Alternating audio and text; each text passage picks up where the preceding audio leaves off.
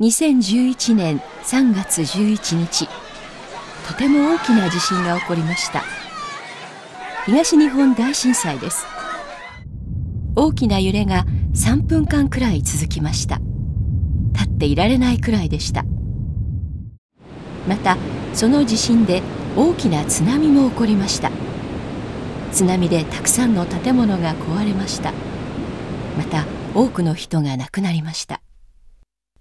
大きな地震が起きた時にあなたの安全を守り落ち着いて行動するためには日頃からの準備と心構えがとても大切です。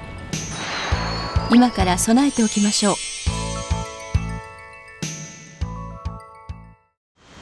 大きな地震は生活を大きく変えてしまいます。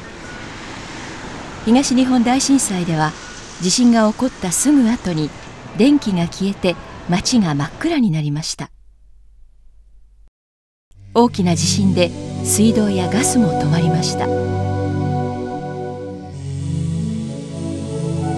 また食べ物や生活に必要なものが足りなくなり不便な生活がしばらく続きました。そう地震が起こってからでは遅いのです。地震が起きた時のために食べ物や生活に必要なものを準備しましょう。食べ物や水は少なくとも7日分くらい。米やパスタなどいつも食べるものを多めに準備しましょう。またカップラーメンや缶詰など長く保存できるものを一緒に準備すれば安心です。これらの食べ物は日頃から食べるようにします。そして食べた分は買い足しましょう。飲むための水。料理をするための水。いろいろな水が必要です。ポリ容器を使えばたくさんの水を準備できます。電気が止まった時懐中電灯があると安心です。いろいろな懐中電灯があります。電池も準備しておきましょう。ガスが止まった時はカセットコンロが便利です。ガスボンベも忘れずに準備しましょう。食べ物や水懐中電灯などは家の中でいくつかの場所に分けておきましょう。また家族や友達と災害の時何が必要か話し合いましょう。防災グッズはリュックに入れて持ち運びます。両手が使えて動きやすいのでリュックはとても便利です。正しい情報を知るためにラジオも準備しましょう。あなたが必要な薬も準備しましょう。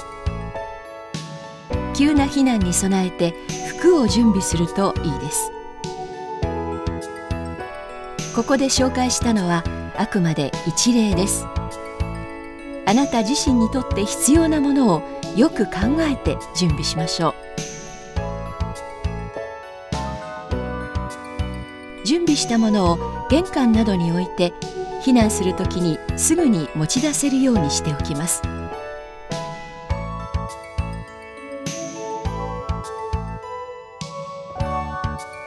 地震に備えるための便利なものがあります。突っ張り棒は背の高い家具が倒れてこないようにします。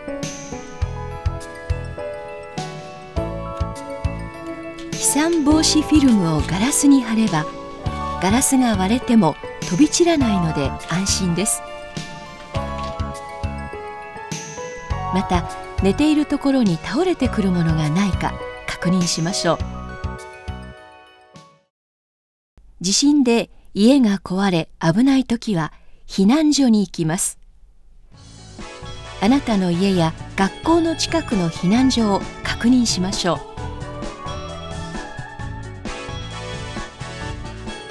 避難所までの道を歩いて安全に逃げられるように備えましょう。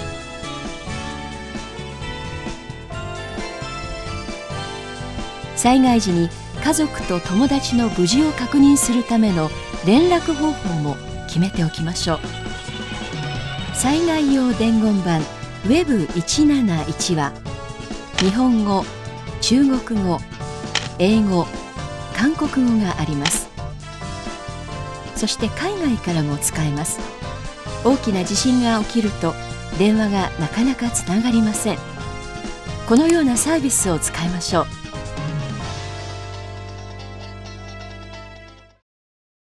あなたが住んでいる地域の防災訓練に参加しましょう。防災訓練は災害から体を守る方法を学ぶことができます。また地域の人たちと交流できるチャンスです。仙台市には外国人住民が企画運営に参加している防災訓練もあります。初めて来た時この防災訓練を受けてみてそこである程度あ災害が起きたらこのような行動をしなければならないのかなということをある程度イメージしていたのでそれをあの実際に災害が起こった時使ったというか、はい、だからこういう防災訓練に参加した方が大事だと思います避難所行ってやっぱり自分はボランティアとして、えー、自分あのできることをやりますね。お客様にならないように。あそうですね。まず日頃の準備はとても大事と思います。あのお水とか食べ物を日々用意した方がいいかなと思います。あとあの大きな地震が起きた場合冷静になってあの日本人の方の動きとかを参考にしてあの避難所に行ったりとか緊急な措置を取りたいなと思います。地震が起きた時も地域の人たちが協力して助け合うことが必要です。そのためにも日頃から地域の人たちと交流しましょう。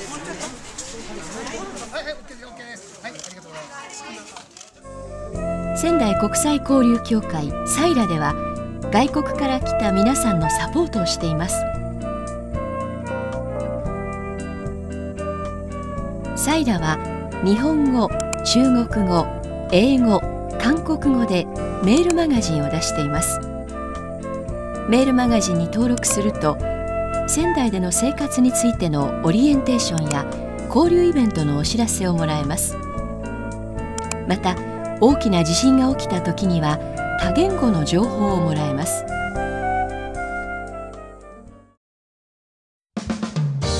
突然の大地震。